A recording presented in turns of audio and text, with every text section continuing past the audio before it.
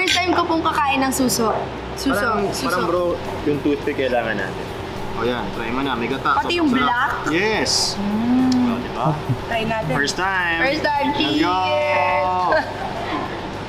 Mm, ang sarap ng sabaw. diba?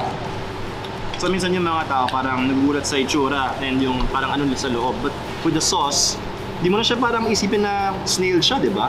Sobrang sarap kasi. Mm. Ngayon lang ako nakatikim ng suso. Yes. Para siyang so earthy. Mm. Sarap ng sabaw. So yung gata, yung gata talaga is the key talaga.